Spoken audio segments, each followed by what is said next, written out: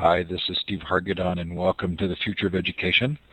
It's Thursday, January 12th, 2012, and our special guest is Mitch Pearlstein, author of From Family Collapse to America's Decline. Mitch, thanks so much for being here. Well, thank you very much. So uh, Mitch is on the telephone coming through, so there might be a slight lag between uh, when he finishes speaking and I start, or when I finish speaking and he starts. Um, but we're sure glad to have him on. That also means he can't see the screen, he can't see your questions in the chat, but I will try and relay them to him. The Future of Education is sponsored by my Web 2.0 Labs project, web20labs.com, and by Blackboard Collaborate, and the new uh, user community for Collaborate that I run at wecollaborate.com coming up. Please do note if you're going to the ISTE Technology Conference this summer, we have the ISTE Unplugged set of activities. This is really, really fun. It starts with Social EdCon the Saturday before an all-day unconference on social media and education. Uh, we have a, a, number of really fun activities planned, including the three-day Bloggers Cafe and ISTE Live. If, you, if you've always wanted to present at ISTE and haven't been accepted or for some other reason aren't an official presenter, we let you do that. Anyway, ISTEunplugged.com. Uh, also, we've just announced Ed Incubator, a place for small educational startups to get uh, authentic teacher councils. Our first customer is PBS NewsHour. Uh, please go to edincubator.com or in classroom20.com. You can click on the Ed Incubator link. Lots of fun there. If you always wanted to let somebody know how you feel as an educator, go let PBS know. And we have some other really fun organizations lined up. Coming up uh, this year in our worldwide conferences, uh, we are going to do a special celebration of Classroom 2.0's fifth anniversary. We have a gaming and education conference on April 26th planned. The alternate education conference, which would be homeschooling, unschooling, and the like, is May 16th to 18th. We are going to include online learning in that. Uh, the Future of Libraries Conference is October 3rd through the 5th, and the Global Education Conference will be the 12th to the 16th of November. Coming up on the show next week, Sheryl Nussbaum Beach talks about her book, The Connected Educator. Henry Eyring about his book with uh, Clay Christensen on the Innovative University. Uh, obviously, lots more. Uh, you can see that long list of interviews coming up. New to, as of today, David Weinberger is going to be talking on February 28th about book Too Big to Know. Um, Joseph Grenny from Vital Smarts is going to come on and talk about crucial conversations, vital behaviors, and sources of influence. And our friend Jennifer Fox is going to return um, to, to talk about to heck with traditional content. Uh, Jennifer is a strengths-based educator uh, in Texas starting a new school. It Should be very fun to follow her progress. Anyway, lots of diversity. We hope that you enjoy that in the show. Uh, here's a list of many of the past guests. I think we're at over 225 so far, but all of those recordings are up online, um, available in recorded form, both in full Elluminate version and in MP3, uh, including, I'm going to make sure, um, Frederick Hess, who's been on the show, and also several people you mentioned in the book have been on, uh, Chubb and Moe, Moe and Chubb, and uh, Clay, uh, Clayton Christensen's co-author, um, Michael Horn has been on several times. Anyway, lots of fun. Yeah, you're mentioning you're mentioning at least five folks who are uh, good friends. Sure. Oh, good. I'm glad. Okay, here's your chance to let us know where you're participating from. You can do that by clicking on the star. It's the second icon down, and then clicking on the map. I'm hoping I've given you all permissions. So you do have permissions.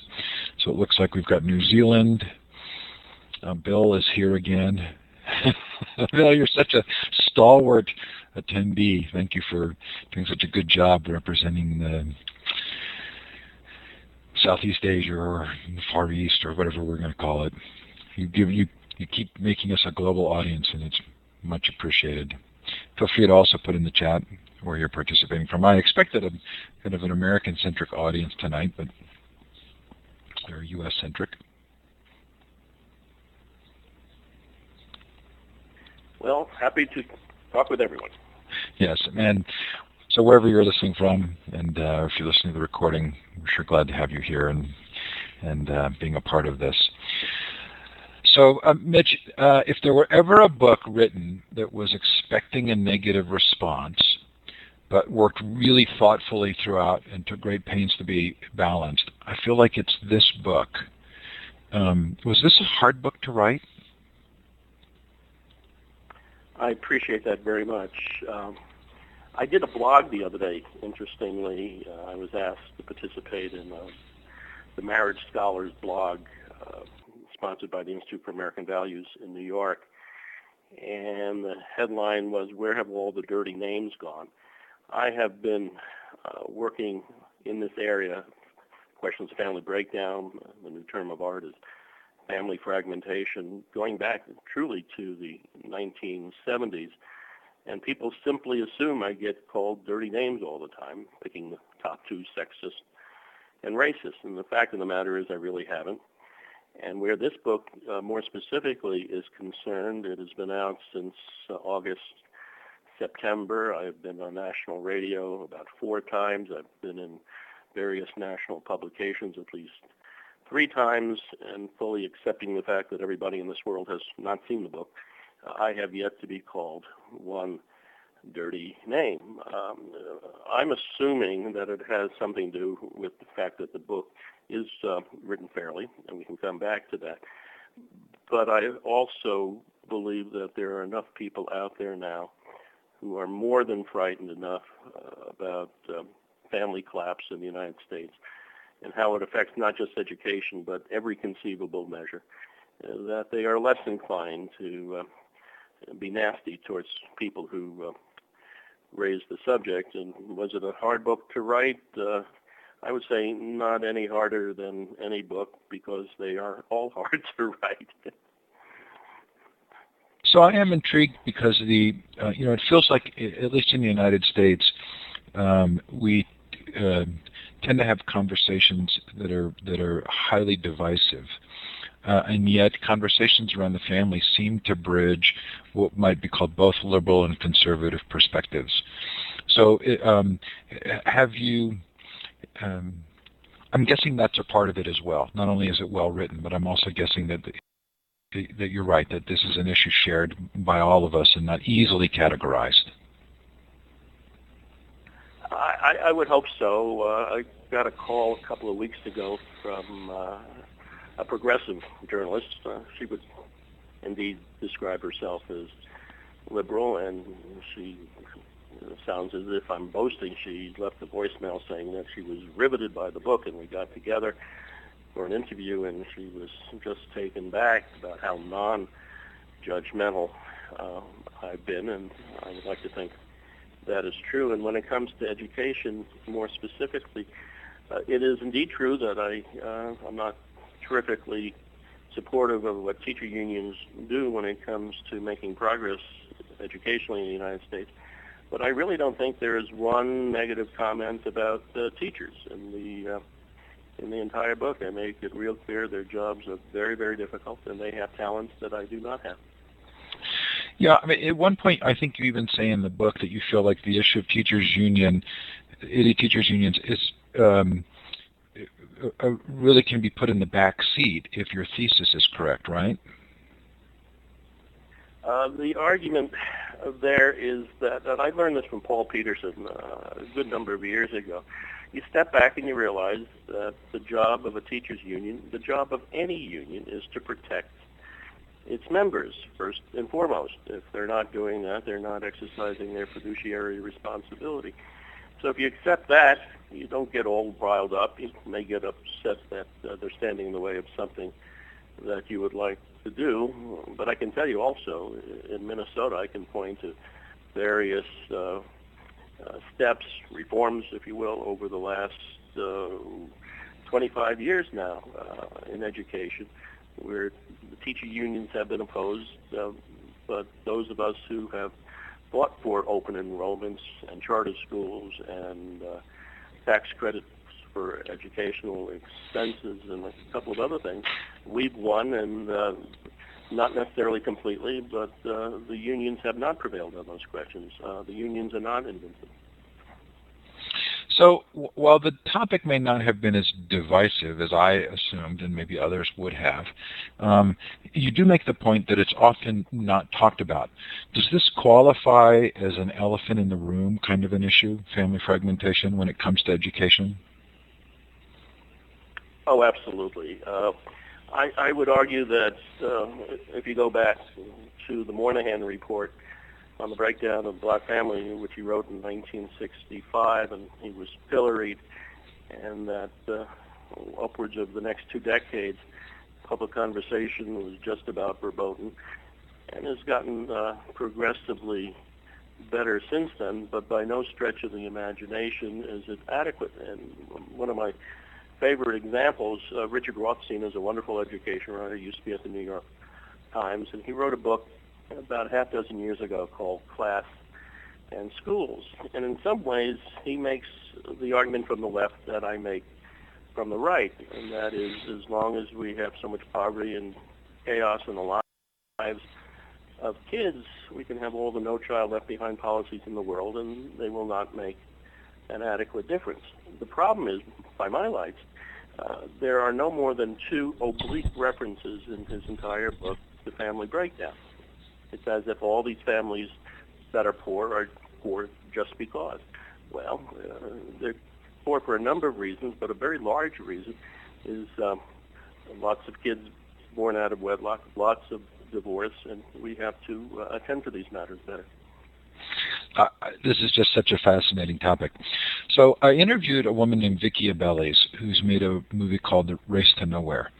And my guess is that you and Vicki might not agree on the end goals of education, but that you would agree on uh, many aspects of the uh, issues about the family. And I bring it up because uh, in interviewing her, I mentioned that um, I was particularly impressed by the images of family dinners that were being held in her home uh, with the kids and the research that I had seen about the correlation between families that eat together and academic achievement.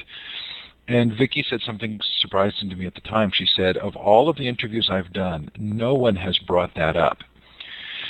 What's at the core of the reluctance to talk about that, do you think? Um, why would the discussion of family breakdown be a hard thing to, to be candid about? Well, first of all, as alluded to before, uh, it's not going to happen every day, but you can be called uh, sexist, you can be called racist. And it's a sign of progress in this country where the most damning thing, the most painful thing a person can be called is uh, racist. Uh, so it's perverse progress in this respect. Beyond that, though, um, just about everybody is in a situation where either they are divorced, uh, children are divorced, parents are divorced, good friends are divorced, uh, people close to them are having babies, have had babies out of wedlock, and it is just uncomfortable. If you start from the fact that about 40% of all American marriages, uh, first marriages, end in divorce, and the number is closer to 50% for subsequent marriages. Let's say you're at a dinner party with a dozen people. that means at least, generally speaking, half the people around the room have been divorced, and they may or may not uh, welcome uh, that conversation. Fascinating. It also seems like in the book you um, that you claim as a cause of some of this, or a great portion of it, um, kind of the selfishness of adults. And I'm, I don't want to put words in your mouth, but kind of a me-first culture, and that may be a little bit hard for us to recognize and reflect on.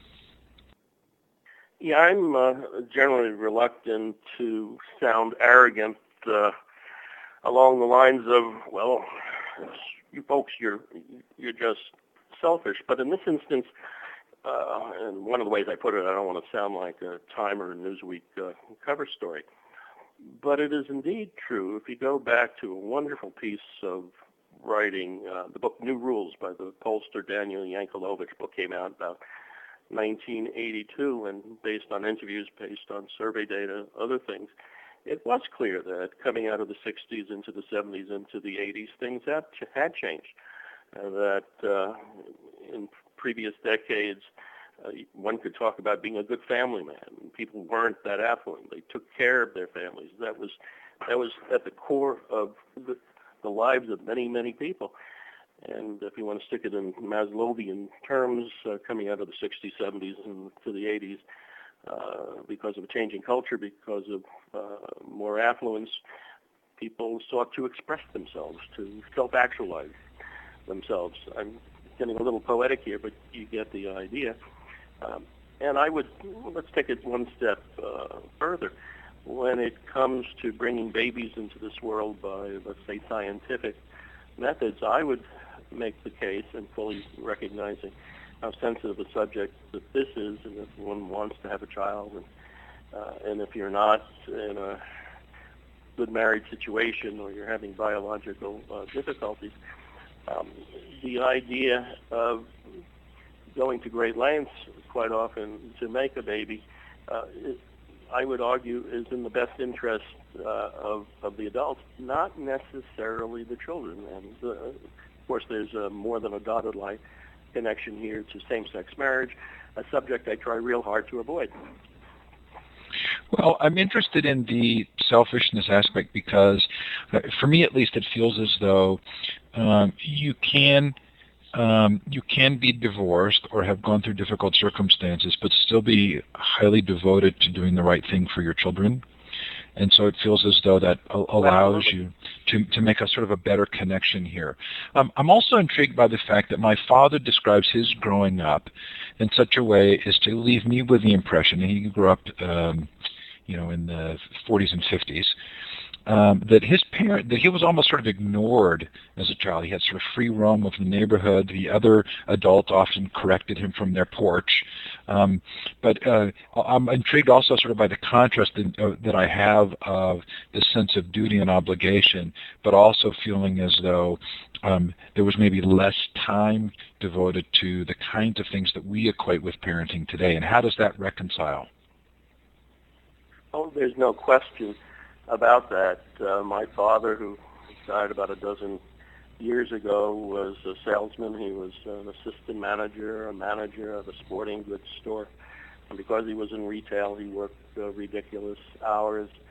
I played organized baseball growing up. I played organized basketball growing up. I seem to remember him and my mother coming to one of the games as opposed to uh, parents to the these days frequently going to all of their kids' games if their if their uh, schedules allow. Uh, I'm bigger on the sense of duty to one's family than uh, spending a lot of what might be called is called quality time. Uh, you may remember in the book, I, I make it clear uh, later in the book that uh, I'm talking a lot about fathers, but my conception of what I would like them to do is really quite modest. The old Woody Allen line about 80% of life is showing up. I just want them there, not every moment. They don't have to go to all the ball games, but in in the household. And if uh, they don't want to uh, change diapers in the way that modern men should, I would hope that they would. But uh, it is no great crime. It's, it's an issue that they have to work out between their God and their wives. So I want, I want to go into kind of the argument of the book. Um, but before I do so, one of the questions that I kept asking myself as I read it is, how much of this is part of an historical cycle? And if we think about cycles in history and we think about ways in which, you know, uh, you get the, the roaring 20s and then the Great Depression, is there a degree to which some of what you're describing here is related to historical cycles, or is this does this sit outside of those cycles, and are we seeing something just unprecedented in terms of particularly fatherless families? I believe so. Uh, at least families that are fatherless, not by uh, means of uh, death. Uh, I fully accept the fact, uh, obviously, that over the decades and over the centuries, uh, marriage has changed um, different conceptions of romantic love, if in fact romantic love was even in the equation, but I don't know of any time in which, for example, in the United States, and the United States has the highest family fragmentation rates in the industrialized world, where uh, 30% of white children are born out of wedlock. 40% of the nation as a whole, I'm rounding off here, about 50% of Hispanic babies are born out of wedlock. The number is over 70%.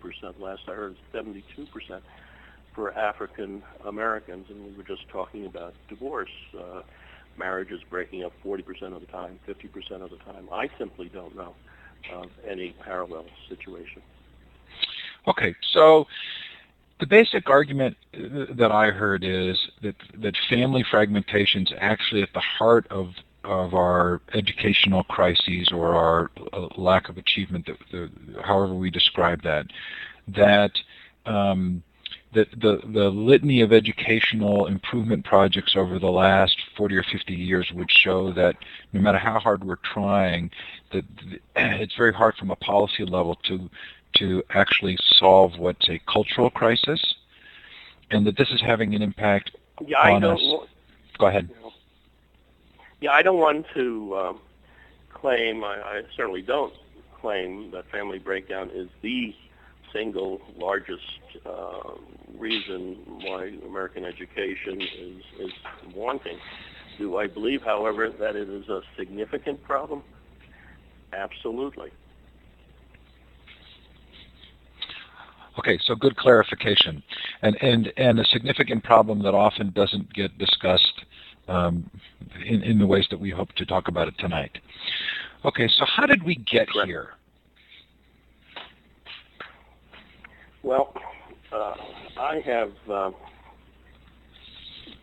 for the for the better part of the last number of decades, and as I think I may have mentioned before, I started writing about this in the late 1970s, I would make an argument similar to others talking about the economic uh, reasons and the cultural reasons and the policy reasons. The economic reasons, uh, including the William Julius Wilson conception of unmarriageable men because of the loss of family wage jobs for low-skilled men in, in uh, core cities um, another direction, one could talk about how uh, women now can support themselves in ways that they could not in the past, uh, making marriage less uh, necessary in, in some instances. The cultural side, uh, just turn on television. Uh, I, I love the examples. If you folks remember uh, Diana Ross's Love Child, which came out in about the mid 1960s, about how she had been a love child. This is all in euphemism. Her uh, boyfriend wanted to have sex.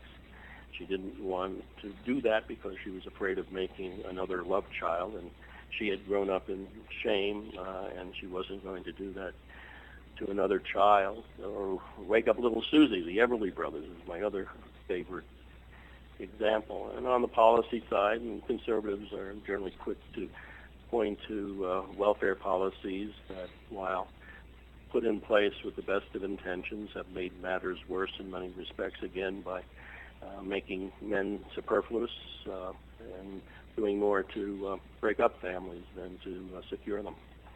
Those are the three main arguments, and uh, the numbers started getting bad, at least in the African American community in the 1960s. And Pat Moynihan wrote about the subject then, and any number of events and publications and controversies. Dan Quayle was right, and the rest uh, over the next almost half century now. So, so what have been the impacts of that fragmentation? Can we identify them specifically? Are they tangible, or is there research that would show that this fragmentation is um, really a, uh, a making a difference in areas that we care about?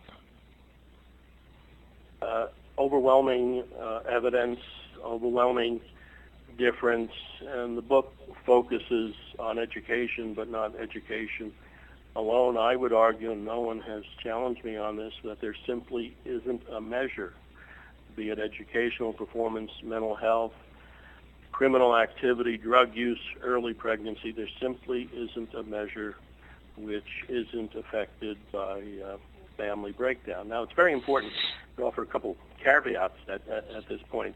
Are there, excuse me, millions of kids growing up in really tough situations who are doing great in this country? Absolutely. Are there millions of kids growing up under supposedly ideal situations who are doing terribly? Absolutely.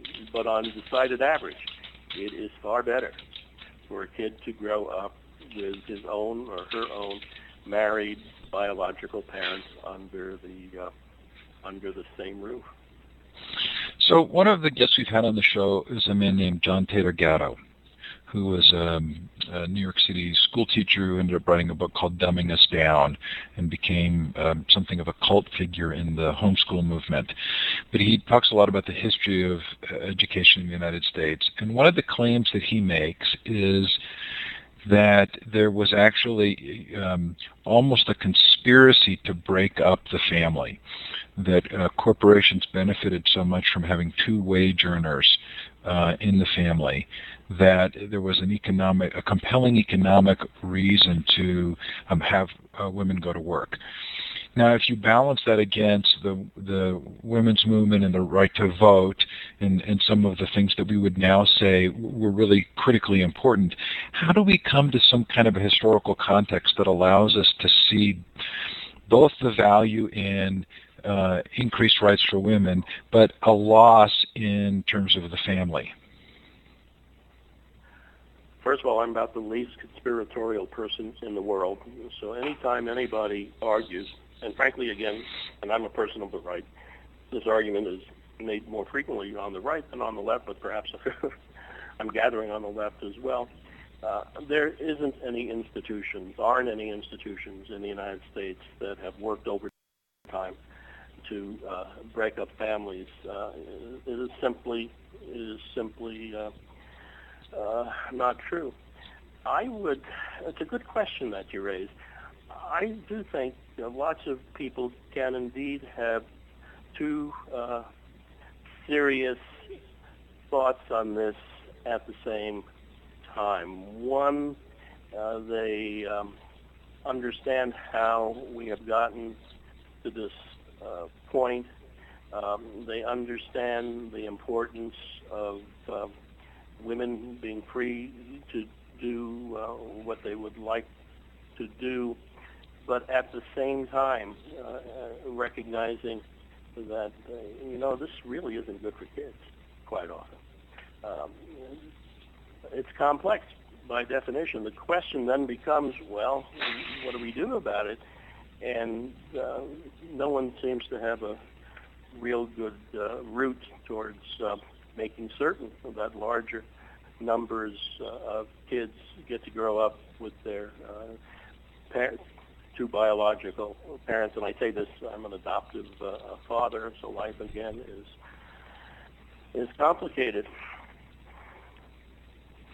Well, I don't want to skip to the end, but I, there's a question I want to ask at this point because in the book you use the uh, phrase um, uh, or the word paternalism in a in a positive way, and oftentimes we hear that used in a more pejorative way. But it also occurred to me that you can have, uh, uh, if we create a an environment at schools that respects and reflects the need for the kind of community and authority and structure that uh, have existed uh, in in traditional families. Um, but we would also recognize that families often operate very differently, and uh, and we have schools that provide that same sense but often have very different outcomes. I'm thinking of, say, KIPP school versus big picture schools, where, where both create a real sense of um, some kind of belonging for the students, but have very different outcomes. So, is it fair to think that uh, that that we can still be using this language and be thinking about these problems without necessarily agreeing on what the outcomes are? I'm very much of a pluralist when it comes to American education, different strokes for different folks. I've been very much involved in school choice activities, in this instance, going back to the uh, 1980s. Uh, I don't uh, focus in the book on, well, I do talk about some specific programs, but the argument is not, well, this is the way it should be done. I'm saying there are different approaches and that when it comes to uh, kids with uh, holes in their hearts, as uh, has been just some have uh, described kids growing up without a parent, I do believe that uh, rigor is important. Uh, paternalism is frequently used in this regard in a very good way when it comes to schools. You mentioned the KIPP academies, uh, uh, very directive, uh, embracing uh, high standards and the like. I'm looking right now. I just got it off my shelf, "Sweating the Small Stuff" by uh, uh, David uh, Whitman. Um, I'm not going to argue that, and I certainly don't, that there is only one or even only two or only three ways of helping kids growing up in tough situations.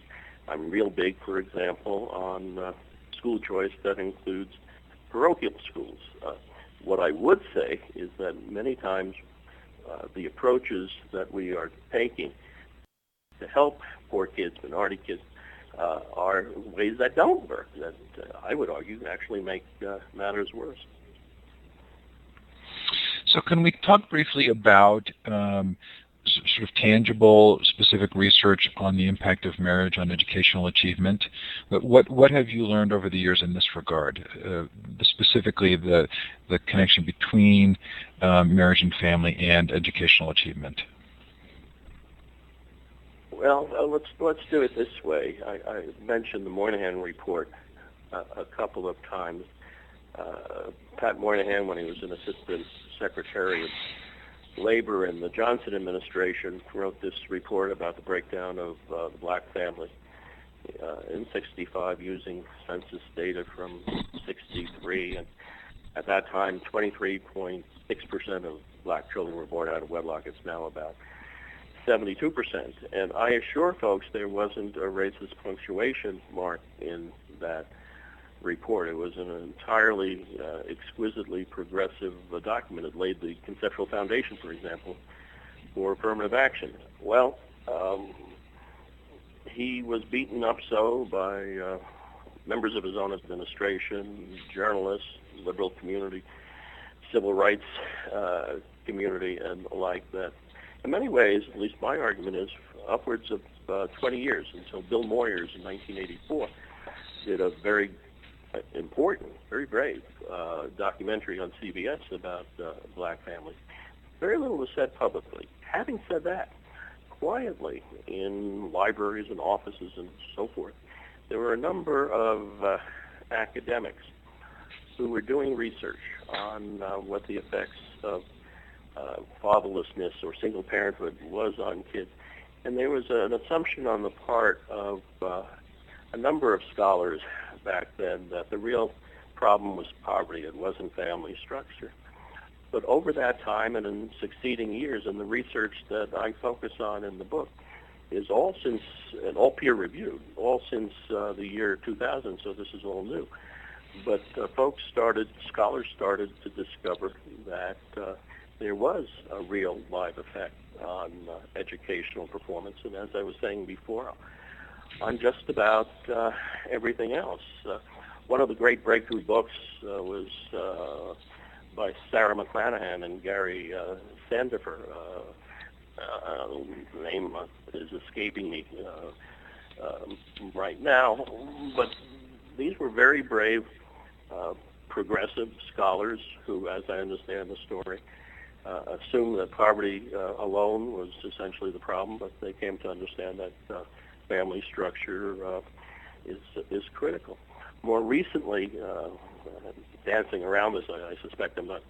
I don't want to sound too pedantic and uh, start doing a lot of citations, but there was a an educational testing service paper uh, that came out just in the last year or two, and I'm looking for the citation here, uh, written by two quite uh, enlightened, progressive uh, scholars. And let me read you the, uh, I have it right here, um, the, um, the opening lines or one of the uh, key lines of, um, of their study. And they said, it is very hard. Two sober scholars who we'll return to later in the chapter concluded in a 2010 Educational Testing Service report to imagine progress resuming and reducing the education uh, attainment and achievement gap without turning these family trends around, by which they meant increasing marriage rates and getting fathers back into the business of nurturing children.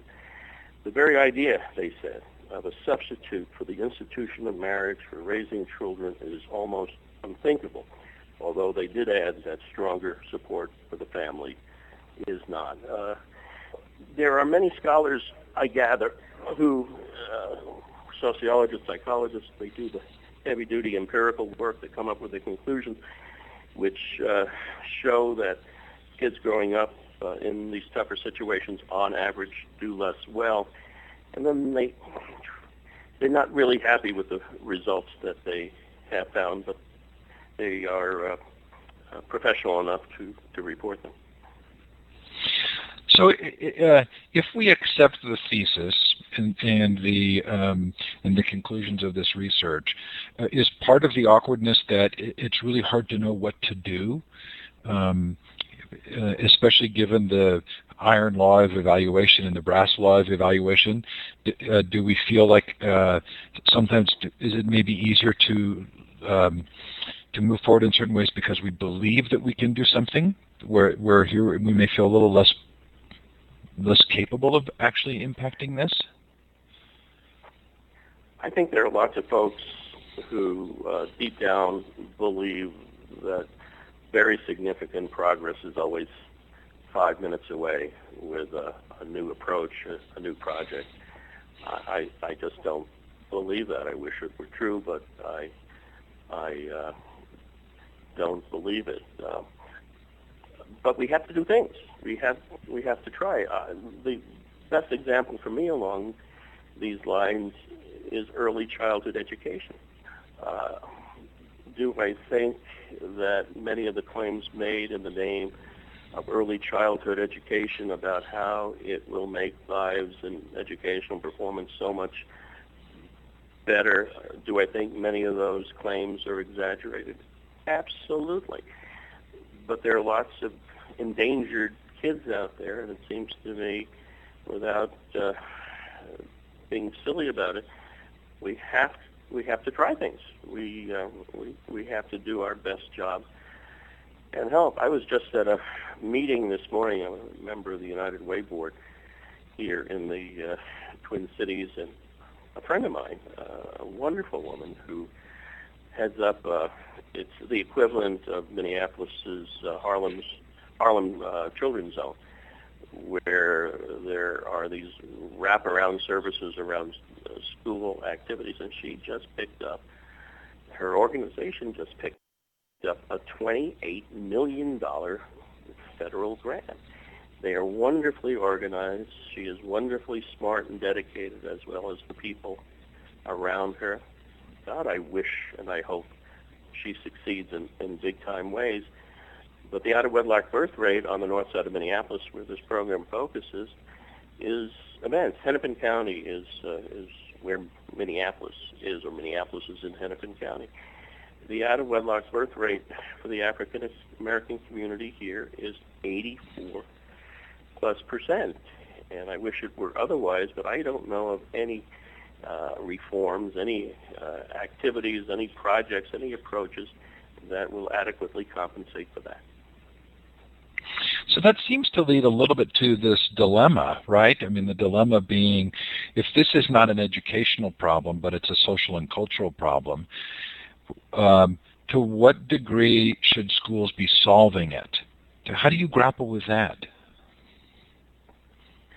Well, I'm not willing to say that uh, the entirety of the problem is social, cultural, familial, and all. There are still a lot of things, and just about everybody who is hooked up uh, to the show right now, they have uh, their favorite things or the really their least favorite things about uh, American education that they can that they can point to. The good news, in a real way, is that there are indeed some terrific programs out there. I point to the KIPP academies. Though when I was finishing off the book early last year, there was a grand total of 99. That's all uh, across the country. I'm a great proponent of uh, vouchers and school choice programs that uh, include parochial schools, and many of them do a great job with low-income uh, kids. So we can make progress in, in certain areas. But one of the arguments, again, of the book is that there is this expectation we can bring great programs like those to adequate scale on a consistent basis. And I just don't think so for a variety of reasons. Well, this was a, an interesting dilemma for me. Your your wife is an ordained minister, am I right? That's correct.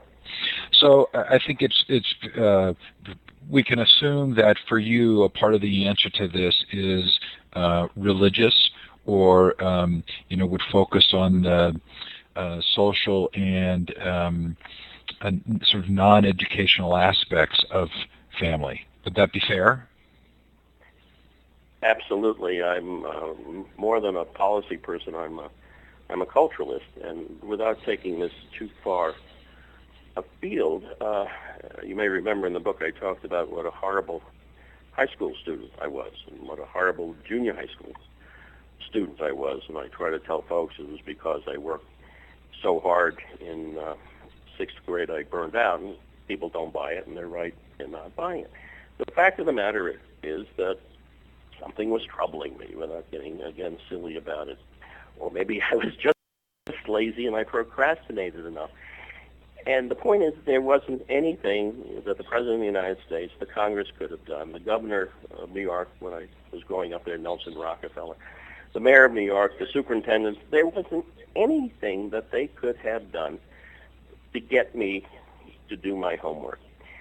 To me, that is just a classic example of the limits of uh, of policy. Other things are, are going on, and if we have problems as well, such as uh, uh, the fear that uh, many African American kids, and not just African American kids, have about uh, acting white or being seen as acting white uh, if they are working hard or thought to be working hard in school. I would argue uh, and do that those cultural disincentives are stronger than any uh, policy incentive uh, can possibly be, generally speaking. So, so what do what can we do? I mean, I, I find this a sort of a fascinating topic because, um, you know, the conclusion that I come to is, at least for me personally, is that this is less about kind of traditional school reforms than it is about thinking about the larger social cultural issues. And I and I wonder uh, what advice are you giving people who say I really want to make a difference in student child achievement? Well, first of all, uh, as I, have said, uh, I do favor some educational approaches over others. So if we had real life voucher programs here that included parochial schools, uh, private schools, religious schools, I think many kids, not all by any stretch, uh, would be well served by that. Um, the problem is that uh, where's the leverage? Where's the leverage in in changing the culture? Uh, a variation on on the theme. Bill Raspberry, the, the wonderful Pulitzer Prize winning columnist, was out here long time ago now. Uh, Bill was a friend, is a friend. I haven't seen him in a long time though. And the question was poverty or something like it. And uh, someone asked, uh, where do you begin? And uh, Bill said it was uh, a good question, big problem. And because it's a big problem, you can jump in any place. And his preference was to start with the boys. And in many respects, that's um, where I start. Uh, one is obliged to come up with recommendations in a book like this, so I, I worked hard to come up with some ideas that just weren't hackneyed and all. But the boys become the men who women legitimately don't want to marry. So I think it's real important to think about ways, not by ignoring girls or women, obviously, but to um, better serve boys in, in school. Um, uh, and so, um, what advice would you give there? the paternalistic schools again, uh, the KIPP Academy schools, uh, religious schools, quite frequently, though religious schools can uh, be of equal service clearly to uh, to girls. Um, I interviewed a, a nun out here a long time ago during some school choice activity, and she uh, was the principal of an elementary school. And uh, I asked, well, what's the mission of your school? And the answer was something like to manifest God's love in every child. And my goodness, that that's a mission statement you can grab hold of. It's meaty. You, you know what it says, as opposed to any number of other mission statements in other institutions, which can get kind of gooey. So again, for kids who are suffering, I would argue that for many of them, one more time, not all, that kind of education, that kind of nurturing, that kind of education where someone can hold the kid's hand and say, God loves you, um, it just might work better for them than some uh, secular uh, setting. Uh, I'm, I'm, loving this conversation, Mitch. I really appreciate it. Um, and I am a technology uh, advocate. Um, uh, and someone who really really finds the, the conversation around technology and education very interesting.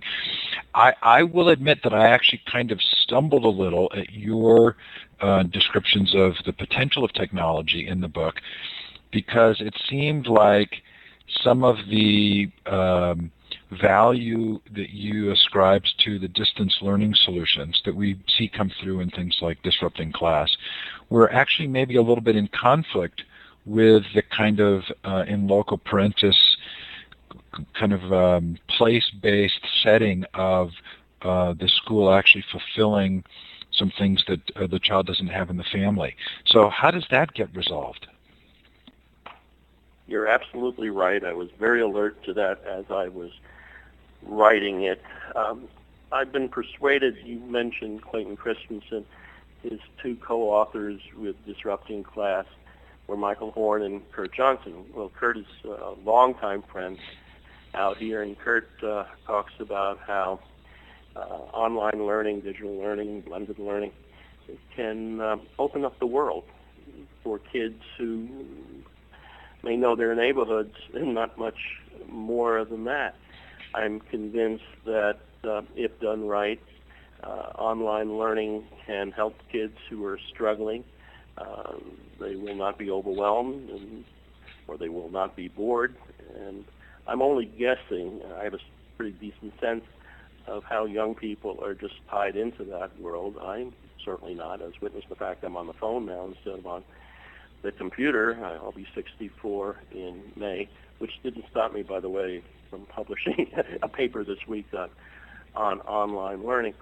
So it is not necessarily my style, but I understand its virtues, and while it uh, does seem to be out of step with some of the more cultural, spiritual, uh, hands-on, uh, in loco parentis themes I've been talking about, it's another example of how there are different ways of uh, serving kids. Okay, this is the point of the show in which we typically move to uh, providing an opportunity for Q&A. Uh, if you're in the audience and you would like to ask Mitch a question, he is not online, so he can't see the chat, but you're welcome to put a question in the chat and I will relay it, or you can also raise your hand you're virtually raising your hand by clicking on that third icon over the hand icon in the participant window. And that lets me know you'd like the microphone and you can take the microphone. I'm interested in your reactions to what Mitch has said, to the, to the ideas in this book, and maybe uh, ideas that you've had about um, how we think about and address some of these questions. Um, Mitch, while we're waiting for that, um, are we at a point in history that's that's um, unique in another regard? Meaning, um, so I'm somebody who goes to church, uh, and and um, and it's a very rich experience for me. But it feels as though um, we we our, our scientific revolution and our spiritual lives don't always um, have a good explanation of each other, and that um, um, there are those who would describe religion as a crutch, and there are others I think who would say they're non-believers, but they sort of feel like cognitively we were built for that kind of group dynamic. Um, when you're talking to a group that's non-religious, how do you describe the value of those religious um, constructs?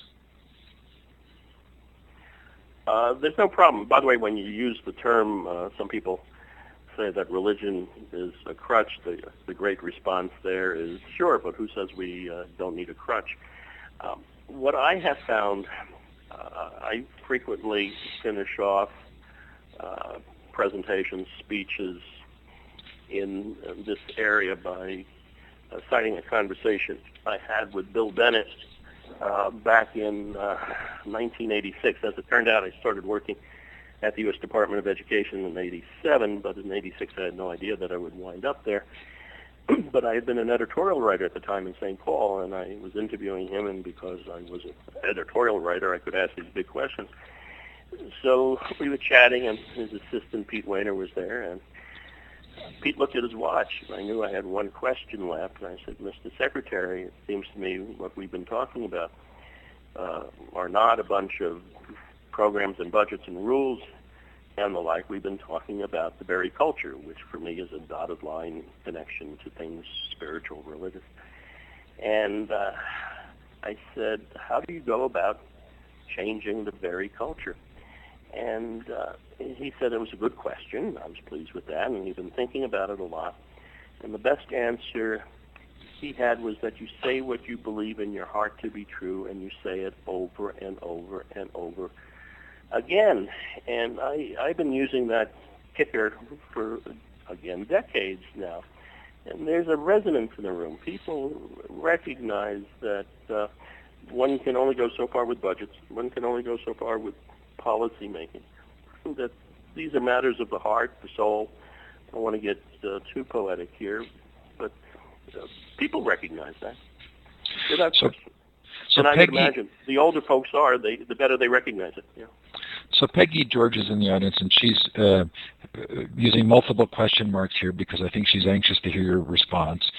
Uh, she's she's replying to that remark and saying, "Don't you have to take what you believe in your heart and turn it into action?" And then previously she had asked in the chat, um, are there specific solutions to the problems that you are addressing, and what can educators do to address the family fragmentation crisis? So Peggy's asking, what actions can be taken by teachers? Oh goodness, uh, I thought we were going in the direction. There are various things that I talk about uh, in the book. For example, I, will get the teachers in a, mo- in a moment. Um, but one of the the great problems, uh, particularly for minority women, inner city women, and not just minority women, is that so many men are in jail. They're in prison. When they get out, they have records. They can't get good jobs. They can't build careers. And that is another way in which they are unmarriageable. And are there ways of helping folks cleanse their names after they have gotten out of jail and prison and gone straight for a number of years? Are there ways of, I don't want to necessarily use the word pardon, but let's use the word pardon. Are there ways to do that uh, more effectively so they will become more marriageable in the eyes of women? Yeah, and we have to uh, we have to pursue that. Where teachers are concerned, I suspect my answer would be it's less a matter of individual teachers acting alone in this instance. It's more a matter of individual teachers in settings which allow them to uh, uh, to be of greater sustaining, nurturing help to kids. Again, I am talking about the religious schools uh, more often than not. Or again, these paternalistic schools having really nothing to do with uh, religion. These are public charter schools more often than not. Um, but the, the way we've been going about it, for the most part, focusing on, this opens up a whole other area, uh, on a, a gooey multiculturalism, which really doesn't uh, serve folks, I would argue, uh, more often than not, but rather holding kids to standards and, and the like, being paternalistic, sweating the small stuff, as Whitman said, uh, I, I would argue, generally speaking, that's more effective. So there's a fascinating contrast here, missing. right? Keep going. A contrast between uh, religious and secular schools in this instance. No, the contrast that I'm seeing is the contrast between outcome-based education and caring for the social emotional needs of the child. And um, you know what you're describing are institutions that uh, respect the needs for that kind of structure, the the parental uh, or paternalistic structure, um, as a means of getting to achievement, which feels to me is different than focusing on strictly achievement. Uh, it's, it's a fair point. It is indeed a, a fair point. Uh, and this is an area where there are some conservative themes intertwining with liberal themes about how to approach education. Uh, you, you raise a, a, a very interesting uh, point. Okay, so um, Jeremy wanted to know, is there a morality that can be taught in schools that doesn't offend anyone? Has such a curriculum been created? It's very tough. Uh, Gerald Grant, uh, one of my favorite writers, um, the guy who wrote um, The World We Created at Hamilton High, a wonderful book came out in the latter part of the 80s, uh, speaks to that, and I, I cite uh, Grant uh, on a number of occasions. But in a nation of more than 300 quite diverse uh, souls, uh, I think it is very difficult. And that is one more reason that I have long argued for affording parents and kids an opportunity uh, for wider choice, including private and religious schools. Carolyn has just posted a long post in the chat, uh, and I think you would agree. Uh, she says, I do believe you find thousands and thousands of teachers in public schools who work every day to provide nurture to their students. But and, and, you're very clear about your appreciation of teachers in the book. She goes on, but with class loads of 28 plus students, it becomes hard to give the personal attention the kids need along with covering the curriculum. Sure, I, I, I would agree. This might be a good point. Uh, this notion of no excuses. Everybody is saying no excuses anymore. The left says it, the right says it.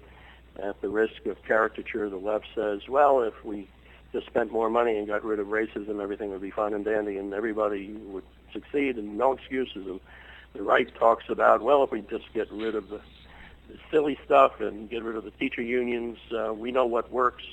All kids will succeed. And, and my answer is no, because there are lots and lots of kids out there, more than we believe or fear, who, because of the chaotic situations in which they are growing up, and in this instance I'm talking largely about single parent or no parent uh, situations, simply find it too hard to concentrate well enough, long enough, to work hard enough, uh, long enough to do sufficiently well in school. And I know by making this argument, I leave the distinct impression of uh, making excuses. I leave the impression of lowering the bar or viewing the world through a therapeutic prism, and I don't like doing that, but it is true. And frankly, I have yet to find a single educator, maybe someone in your audience uh, might uh, disagree, but I have yet to find an educator who disagrees with me. There are lots and lots of very troubled kids out there, and the limits of policy,